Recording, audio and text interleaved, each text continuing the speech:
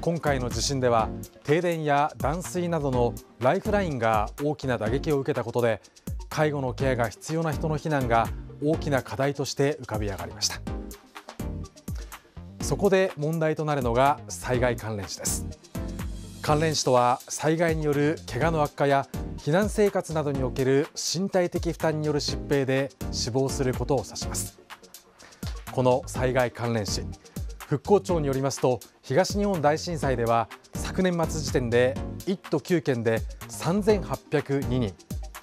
時期別で見ていきますと発災後1ヶ月が746人と最も多く次いで3ヶ月以内さらに数年後まで数が増えたままとなっています。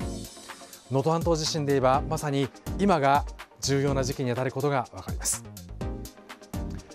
一方熊本地震では犠牲者のうち地震が直接的な要因となったのはわずか50人。一方で災害関連死は223人となっています。つまり亡くなった方の8割が避難生活中の心身の不調や負担が原因とされています。能登半島地震では死者241人のうち15人が災害関連死と認定され今後もさらなる増加が懸念されています。こうした中で注目したのはテルマエ能登能登の風呂プロジェクトです。災害関連死を防ぐ最前線の取り組みは多くの人の使命感によって支えられています。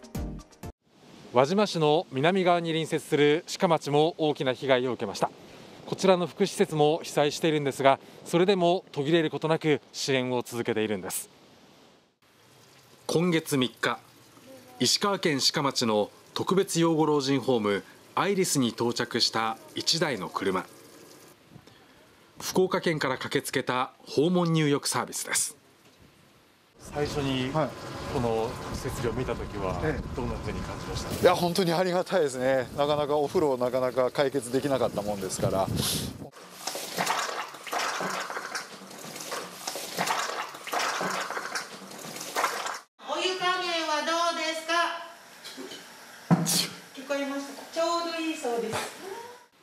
温かいお湯に浸かって髪や体を洗うことおよそ20分。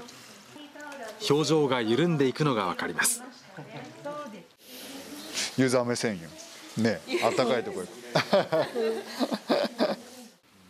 訪問入浴で風呂を届けるこのテルマエノトプロジェクト。企業や個人からの支援金で運営され能登半島地震の発生以降一度も入浴できていない現状を改善しようと被災からおよそ3週間後に始動しました。これまでに鹿町七尾市輪島市の8つの施設で延べ541人が入浴しています。費用は1回あたり1万7000円。資金が限られる中で支援はそれぞれの使命感に支えられています。同業者として、えーまあ、他人事じゃないなやはりそのインフラがやっぱ整わないとやっぱ次のステップに進めないと思うんでですね、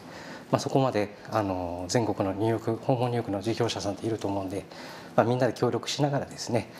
えー、支えていけたらなと。あの手がねすごいツルツルになりました。そうですね。綺麗な方なんで、ね、本当にツルツルに。かなり潤ってきましたよね。潤ってきましたね。プロジェクトの仕掛け人は危機管理教育研究所代表横浜市出身の国崎信江さんです。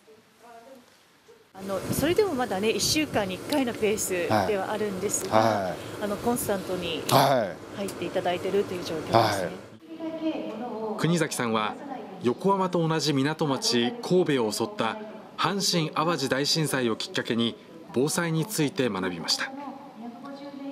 現在では国や企業の災害対策に関わるほか県の防災アドバイザーを務めるなど活動は幅広く講演は年間200本を数えるといいます。綺麗な手してますね。そんなことないわ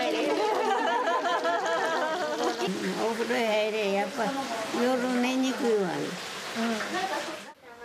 この日2か所目の福祉施設を訪れた国崎さん毛穴に溜まった赤を洗い流すなど衛生面の改善はもちろん床ずれや皮膚疾患の防止脳への刺激による認知症予防など入浴は高齢者の生活に欠かせないといいます。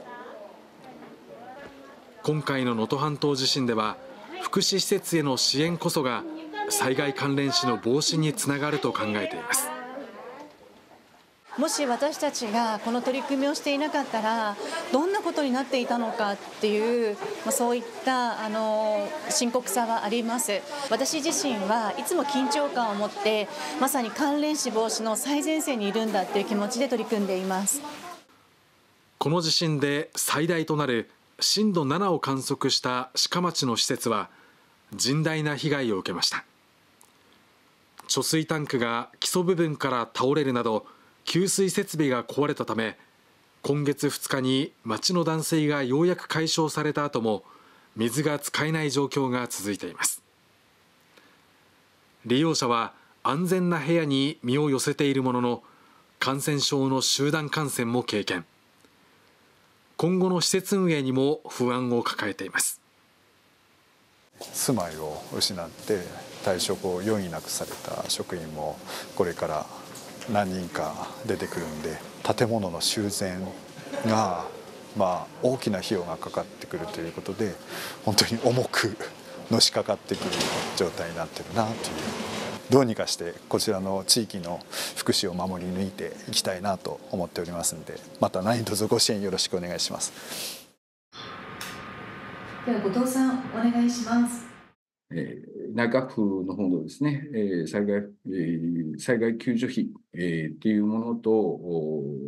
厚労省さんの社会福祉施設災害復旧費という、まあ、二者択一というかですね、私どもが事業を継続するっていうことは、厚労省さんの災害復旧費っていうものを使わせていただくという判断をさせていただきました。今月6日、オンラインで開かれた福祉施設再建のための勉強会です。国崎さんが主催し先が見えない不安を抱える施設に対し過去の災害から復旧した熊本県の施設の事例を紹介したほか国や自治体などの担当者が補助金の制度などを解説していました。これからの能登半島のその高齢者の生活を考えると本当にあの1円として閉じてはいけないというふうに思っておりますので、えー、一日も早い復旧復興を目指して多くのサポートをこれからも必要としているというふうに思っています。災害関連死の防止と福祉施設の一日も早い再建へ。多くの人の使命感に支えられたテルマエノトプロジェクトの風呂が人々の心も温めています。関連死を防止するための最前線で頑張ってくださってるんですよね。能登の人たちのことを考えたらねやっぱりきれい事だけではいかないですけどもやはりあのある程度頑張る時は頑張らないとあの2ヶ月経って実は私の肌感覚ではもう1ヶ月間停滞というか前に進んでないというふうに思っているんですねなのであのこの支援はまだまだあの必要とされているというふうに思っていますのであの支援のある限り私たちも積極的にあの入浴サービスを続けていきたいなと思っています寒さの厳しい能登の冬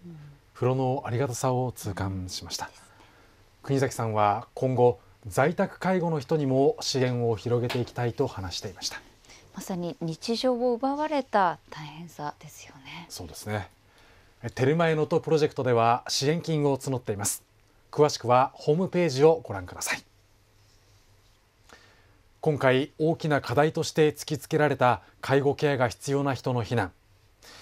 県内には特別養護老人ホームが439施設あり定員は4万人を超えます。待ったなしの対策が求められます。シリーズ震災特集最終回の明日は東日本大震災の教訓を伝える鎌倉と釜石の高校生の取り組みです。